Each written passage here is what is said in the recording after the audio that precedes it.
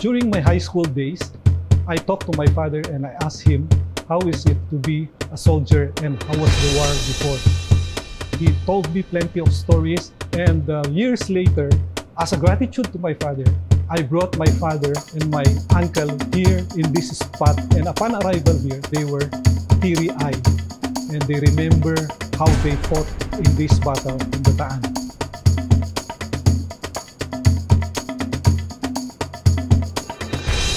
Maging magiting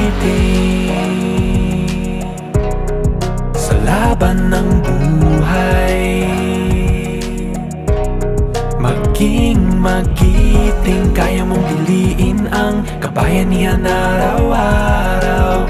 Sa isip, salita at gawa Tayo ay maging magiting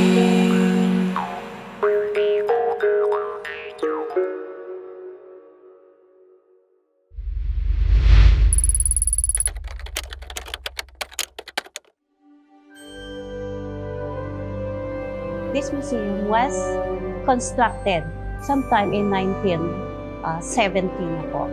This shrine was established to commemorate the bravery and sacrifices of our World War II veterans.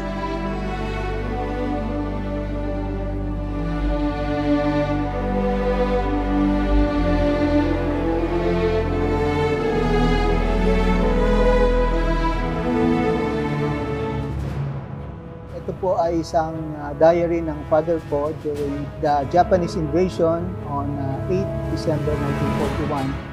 So when uh, uh, General MacArthur discovered na hindi dumaan sa southern part or Batangas ang uh, Japanese troops, he immediately called for the War Plan Orange. The War Plan Orange was the defense of Bataan. But because Bataan was really a small area, no? talagang nahirapan ang, uh, ang Phil-American troops. On April 9, 1942, Major General Edward P. King Jr., who was the commanding officer of the Luzon forces, was forced to surrender his troops in Bataan. After the surrender, uh, the troops were forced to walk approximately 65 miles away to the prison camp at Camp O'Donnell. So there was a total approximately 75,000 troops consisting of 63,000 Filipinos and 12,000 Americans surrendered. So approximately between 5 to 10,000 Filipinos and between 250 to 650 Americans died during the march. However, upon reaching Camp O'Donnell, 20,000 Filipinos and about 1,600 Americans died. That is why the march is called the Bataan Death March. My father, Eduardo Lagundi Paziwagan, was a private in the Philippine Army during the World War II and a survivor of the Bataan Death March.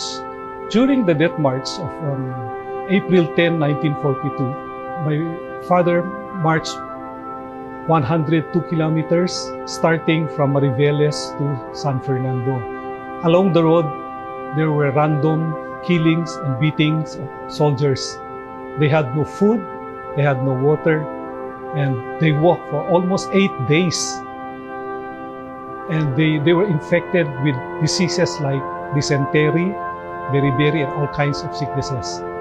So my father endured this um, uh, march, and my uncle, who's also a um, veteran soldier, who joined also the, the death march, was able to escape. Even though in the past the Bataan Death March was often um, portrayed as the largest single surrender in U.S. military history. Nowadays, um, we know the significance of the Bataan Death March in that it delayed the timetable, it delayed the 50 day timetable of the Imperial Japanese Army by fighting in Bataan for 99 days despite suffering from massive disease, starvation, and fighting without any air support. Even if we even if we lost no uh, the battle uh, marami pong lessons ang natutunan natin dito sa Battle of Bataan. The first one is uh, of course uh, courage uh, in defending our motherland. That's the duty of every uh, Filipino citizen uh, to defend our country. Our soldiers um, fought valiantly uh, despite adversity.